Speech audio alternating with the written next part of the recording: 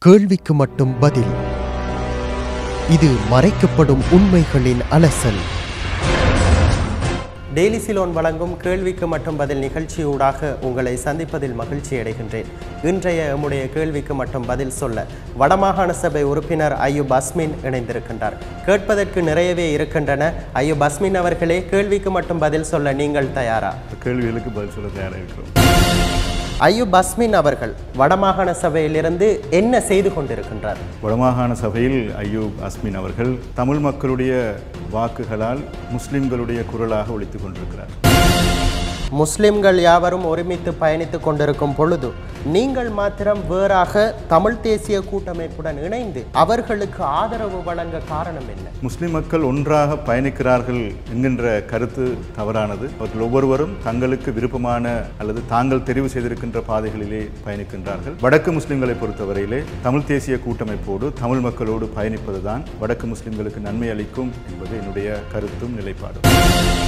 நல்லாட்சிக்கான தேசிய முன்னணியை பிரதிநிதித்துவப்படுத்தி அரசியலுக்குள் பிரவேசித்த நீங்கள் பின்னர் தமிழ் தேசிய கூட்டமைப்புடன் இணைந்து பயணிப்பது உங்கள் பதவியை தக்க வைத்துக் கொள்வதற்காகவா? நல்லாட்சிக்கான தேசிய முன்னணி உருவாகுவதற்கு முன்னரே நாங்கள் அரசியலுக்குள் பிரவேசித்து விட்டோம். எங்களுடைய பிரவேசத்தின் பின்புதான் நல்லாட்சிக்கான தேசிய முன்னணி என்கின்ற ஒரு அமைப்பே எங்களுடைய முயற்சிகளையும் இணைத்து கொண்டதாக உருவாக்கப்பட்டது. வடக்கு முஸ்லிம்களுடைய அரசியல் சார்ந்து கொள்கை ரீதியான சில முரண்பாடுகளின் காரணமாக இப்பொழுது அவர்களோடு சேர்ந்து பயணிக்க முடியாமல் இருக்கிறது என்பதுதான் என்னுடைய கருத்து.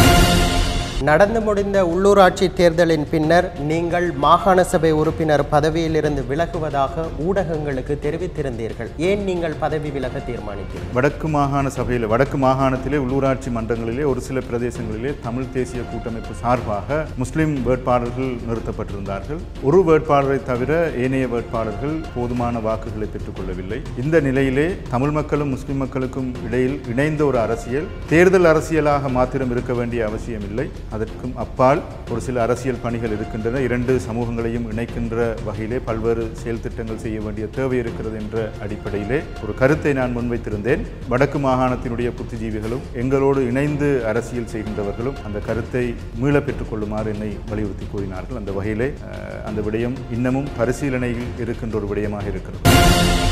பாராளுமன்ற உறுப்பினர் சுமந்திரனுக்கு முஸ்லிம்களின் ஏஜெண்டாக நீங்கள் செயற்படுவதாக குற்றம் சாட்டப்படுகின்றது. இது தொடர்பில் உங்களது கருத்து என்ன? நான் யாருடைய ஏஜெண்டும் அல்ல.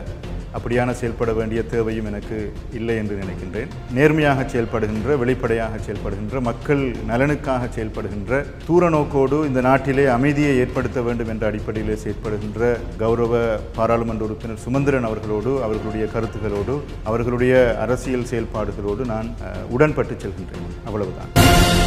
மீள்குடியேற்றம் தொடர்பாக செயற்படும் அமைச்சர்கள் தொடர்பில் நீங்கள் விமர்சனம் செய்து வருகின்றீர்கள். அவ்வாறெனில் வடக்கு மக்களின் மீள்குடியேற்றத்தின் உண்மை தன்மை என்ன? மீள்குடியேற்றம் தொடர்பாக அமைச்சர்கள் செயல்படுகிறார்கள் என்பதை விடவும் குறிப்பாக வடக்கிலே ஒரு அமைச்சர் முஸ்லிம் அமைச்சர் மீள்குடியேற்ற விவகாரங்களிலே ஈடுபடுகின்றார். என்னை பொறுத்தவரையிலே அவரோடு ஒரு சில விடயங்களிலே முரண்பாடுகள் அல்லது விமர்சனங்கள் மாற்று கருத்துகள் இருக்கின்றன. வடக்கு முஸ்லிம்களை பொறுத்தவரையிலே அவர்களுடைய மீள்குடியேற்றம் என்பது ஒரு பிச்சைக்காரனுடைய உடலிலே இருக்கின்ற புண்ணை போன்று அதனை வைத்து தொடர்ந்தும் அரசியல் செய்வதாகத்தான் பலர் நினைக்கின்றார்கள். உண்மையில் அது தவறான ஒரு விடயம். வடக்கு முஸ்லிம்களுடைய மீள்குடியேற்றம் சார்ந்து இதுவரை தீர்க்கப்பட்டிருக்கின்ற முழுமையாக தீர்க்கப்பட்டிருக்கின்ற அல்லது போதுமான அளவு தீர்க்கப்பட்டிருக்கின்ற ஒரு பிரச்சனையாவது எங்களால் காண முடியாமல் இருக்கிறது. அந்த அளவிற்கு பிரச்சனை நிறந்ததாக வடக்கு முஸ்லிம்களுடைய மீள்குடியேற்றம் இருக்கிறது. வடக்கு முஸ்லிம்களை மீள்குடியேற்றுவதற்கு ஒரு திட்டமிடல் கிடையாது. வடக்கு முஸ்லிம்களுடைய மீள்குடியேற்றத்திற்கென்று ஒரு பணிமனை கிடையாது. எத்தனை முஸ்லிம்கள் மீள குடியேற வேண்டும்? அவர்களுடைய கால எல்லைகள் என்ன என்கின்ற விடயங்கள் எல்லாம் தீர்மானிக்கப்படவில்லை. தீர்க்கப்பட்ட ஒரு பிரச்சனையாவது இதுவரை இல்லை. காணி சார்ந்த பல பிரச்சனைகள் இருக்கின்றன வீடமைப்பு சார்ந்து பல பிரச்சனைகள் இருக்கின்றன விவசாயம் மீன்பிடி தொழில்துறவு சார்ந்து அரச நியமனங்கள் சார்ந்து கல்வி சார்ந்து உட்கட்டமைப்பு வசதிகள் சார்ந்த பல பிரச்சனைகள் இருக்கின்றன. அவற்றில் ஒரு இருபத்தி ஐந்து வீதத்தையாவது இந்த அமைச்சர்களால் இதுவரை தீர்க்க முடியவில்லை என்றால் யுத்தம் நிறைவடைந்து எட்டு ஆண்டுகள் கழிந்த பின்னும் இதேதான் நிலை என்று இருக்குமாக இருந்தால் இதனை விமர்சிக்காமல் வாயை மூடிக்கொண்டிருக்க முடியாது.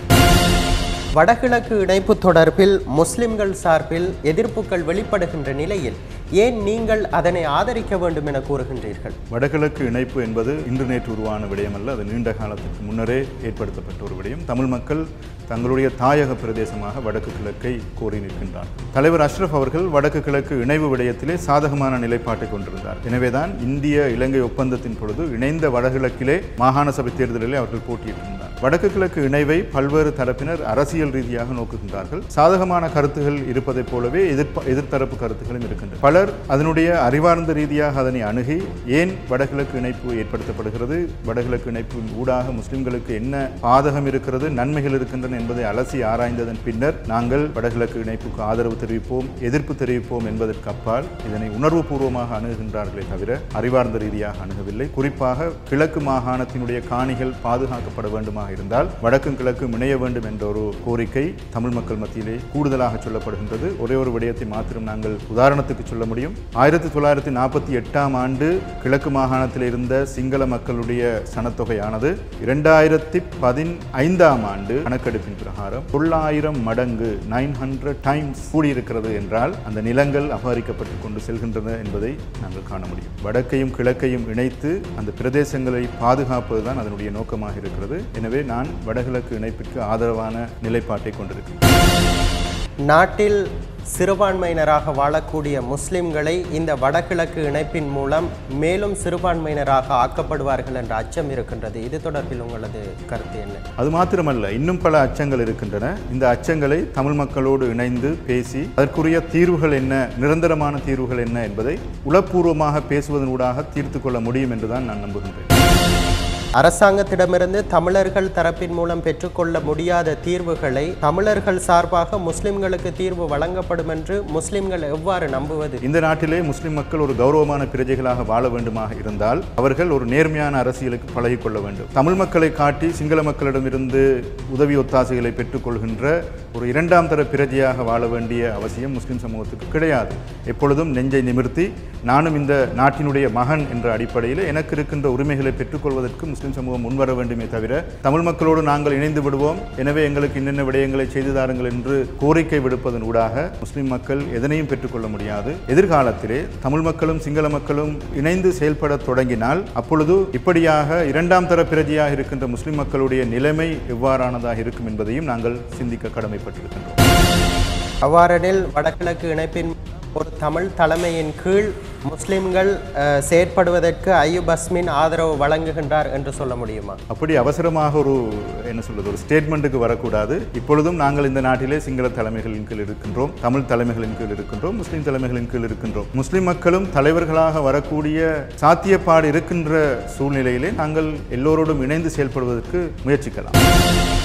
வடக்கில் ஏற்பட்டுள்ள புதிய அரசியல் சூழ்நிலைகளுக்கு மத்தியில் தமிழ் தேசிய கூட்டமைப்பின் எதிர்காலம் எவ்வாறு அமைய இருக்கும் வடக்கிலே தற்போது ஏற்படுத்தப்பட்டிருக்கின்ற அரசியல் சூழ்நிலையானது தீவிர இனவாத சிந்தனை கொண்டவர்களால் ஏற்படுத்தப்பட்டிருக்கு. அது சிங்கள இனவாதிகளாலும் தமிழ் இனவாதிகளாலும் ஏற்படுத்தப்பட்டிருக்கிறது.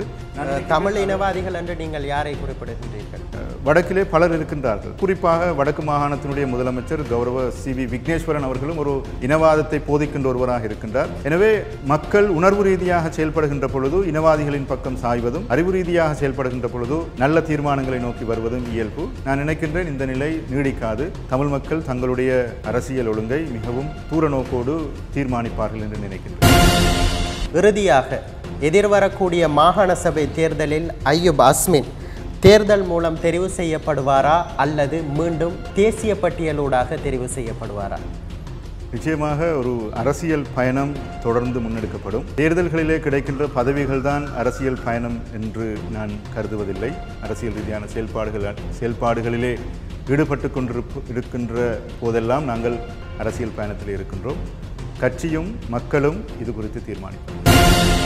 கேள்விக்கு மட்டும் பதில் சொன்ன வடமாகாண சபை உறுப்பினர் ஐயூப் அஸ்மின் அவர்களுக்கு நன்றிகள். நன்றி. சந்திக்கலாம். நீங்கள் கேட்க நினைத்த கேள்விகளுக்கு மற்றும் ஒரு மக்கள் பிரதிநிதி பதில் சொல்லும் வரையில் என்று கூறி உங்களிடமிருந்து விடைபெறுவது ஒளிப்பதிவாளர் ரசீன் ரஃபியுதீனுடன் நான் முகமது சர்ஜான். கேள்விக்கு மட்டும் பதில். இது மறைக்கப்படும் உண்மைகளின் அலசல்.